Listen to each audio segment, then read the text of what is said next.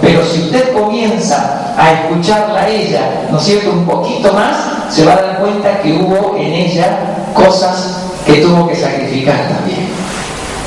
¿Cuántos saben eso? Amén.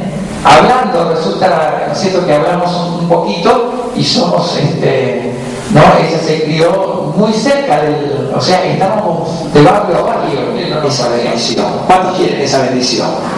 ¿Cuántos quieren traer esa presencia del Señor entonces a nuestras vidas? Amén. Lo, lo traía nada más ni nada menos que a esa ciudad. Pero comienza diciendo entonces, ¿qué es lo que acontecía con David? Cuando David esa presencia del Señor, dice la palabra que comenzó a danzar. Yo me imagino, hermanos, aunque, ¿no es cierto?, la imaginación muchas veces vuela, pero imagínese usted en este momento los saltos, los alaridos, los gritos que pegaba este rey David. Oh, cuidado, hay que cuidar el protocolo. ¿Sabe que eso yo lo escucho mucho?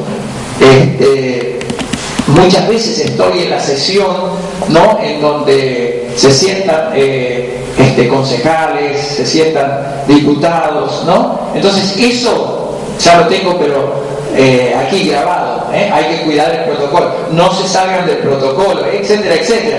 Todo a su... ¿eh? Ahí, no, no se puede salir nada. Yo me imagino, hermanos queridos, ¿no es cierto? al intendente, no, no, no, no me imagino al gobernador ni al presidente. Imagínese el intendente, ¿no? Usted lo invita ¿eh? o, es invitado en este lugar para dar una charla o lo que sea, y le viene este hombre saltando y a los gritos. ¿eh? Y le empieza a gritar y le empieza a saltar de un lado para otro y se corre de acá y se corre de allá. Yo me imagino lo que usted pensaría, no me lo diga, yo me lo imagino. ¿eh? No hace falta mucho que usted me diga qué es lo que pasa, ¿verdad que sí? ¿Cuánto más todavía el gobernador? Y dejemos al presidente, si comienza a ser así. ¿eh? A llegar así de esa manera. No, no que esté en un lugar, porque nuestra presidencia, nuestra presidenta la otra vez, no sé, hizo pasitos de baile y bueno, todo lo criticaba. No, no, no estoy hablando de algunos pasitos, de que se presente así, que rompa el protocolo, no sé si usted entiende. Lo que tiene, ¿no es cierto?, a su alrededor.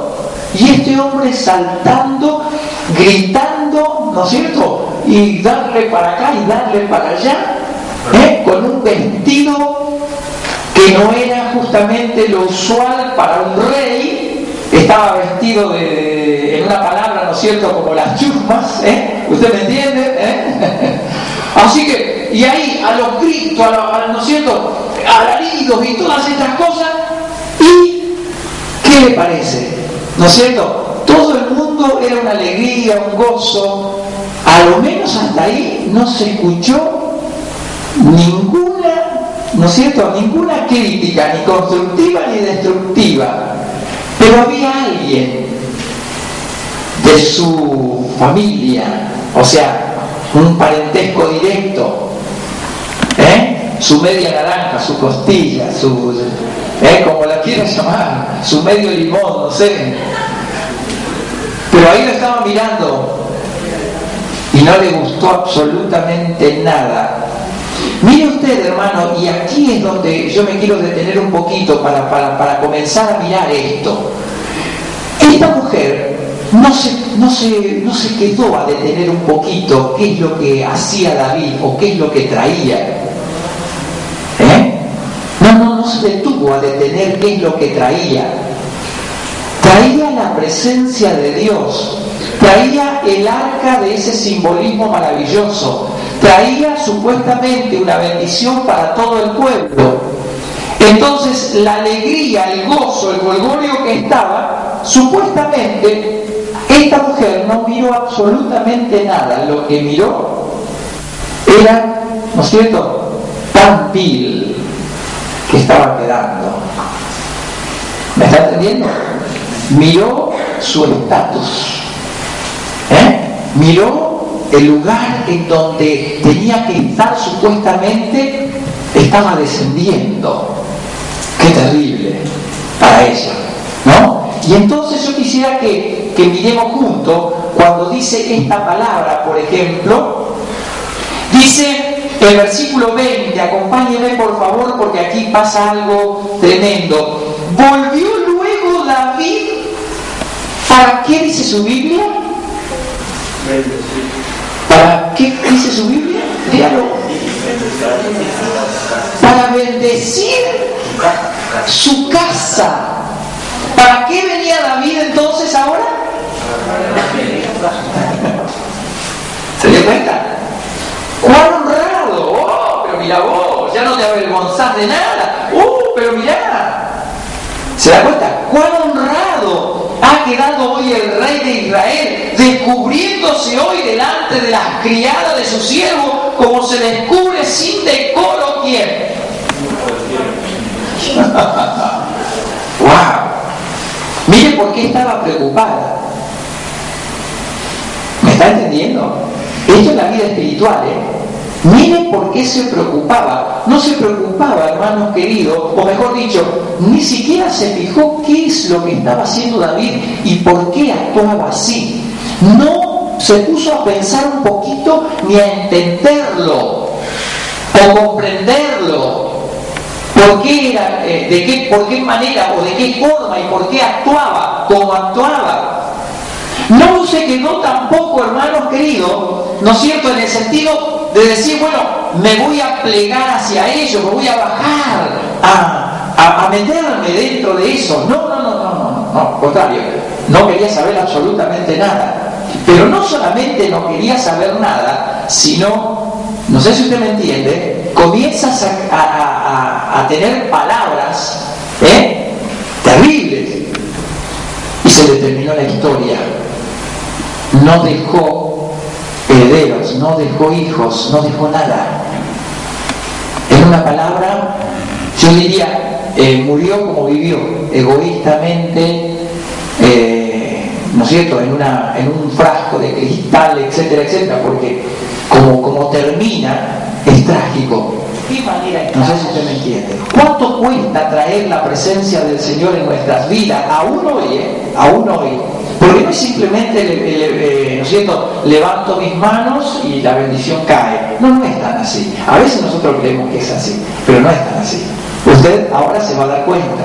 Sí que la salvación es una gracia, sí que la palabra del Señor dice y recibiréis poder cuando haya venido sobre vosotros el Espíritu Santo, pero la presencia maravillosa del Señor, esa de que estaré con vosotros y en vosotros, es solamente a través de que Él dice que golpea la puerta. Si yo le abro, entrará y cenará conmigo. Amén. En muchas oportunidades pensar en el estatus ¿eh? o, pensar que realmente la presencia, ¿qué, es lo que quiere la presencia del Señor? ¿Qué quiere? ¿Que yo me tire suelo? No, no, no. No está hablando de eso. ¿eh? Está hablando simplemente de lo, del orgullo, está hablando, ¿no es cierto?, de todo aquello que nos, nos hace mal, la vanagloria, etcétera, etcétera. El Señor eso es lo que no quiere. Él dice en su palabra que al altivo de qué manera lo mira. ¿De qué manera? ¿Te das cuenta? Eso es lo que está hablando. No le dijo a David que esa era la manera de traerla. Ah, mira, David, si no me lanzas, si no me haces eso. No, no, eso David lo hizo de todo corazón. Pero no sé si usted me entiende. Lo que David hacía era darle a cada uno y a todo el mundo un mensaje, ¿no es cierto?, de humildad, un mensaje, ¿no es cierto?, en el que justamente todo el mundo iba a entender de qué manera se trae la presencia del Señor. Ahora, yo creo que en esta noche, hermanos, tenemos, ¿no es cierto?, dos maneras de poder ver aquí en esta hora, ¿no? Y desde, en dos palabras, hacerlo, digamos, eh, bien sintético a esto. Nosotros podemos ser como David, humilde de nuestro corazón y buscar la presencia del Señor. Y si tiene que costarnos algo, que nos cueste. Pero la presencia del Señor la queremos. Es como decir, cueste lo que cueste. Amén. Hoy hace frío, cualquiera podría decir, no, pero esto cuesta también. Amén. Esto cuesta. Y entonces esto también, cueste lo que cueste, Yo necesito esa presencia del Señor. ¿De qué manera está viniendo? ¿Eh? Me llega hasta la puerta de mi casa, pero ni ahí que yo descienda ¿eh? a buscar esa presencia. Ni ahí que yo ni siquiera no pueda estar eh, en mi corazón esperando esa presencia. Quiero la bendición, pero de, de la manera a lo mejor en la que mi mente quiere hacerlo, no de la manera en que se debería buscar. ¿Me está entendiendo? Quien pueda seguir hablando y yo diría ni recordando a Mical. Y si en esta noche yo no, la nombraba, yo creo que ni usted la recordaba de que era esposa de David. Porque pasó, como decimos comúnmente, sin pena ni gloria. ¿eh? Pero hay muchas más cosas, hermanos queridos, que Dios quiere para con nosotros y que Dios tiene para con nosotros. Pero comienza con esa presencia gloriosa de parte de Dios. Para que nosotros podamos tener, hermanos queridos, no solamente de nombre, ni, ni le vuelvo a repetir, ni como Miguel mirar por la ventana, sino vamos a involucrarnos en las cosas de parte de Dios. Hay muchas cosas que hoy el Señor está queriendo hacer con la iglesia, que seamos luz en todo sentido, en todo sentido.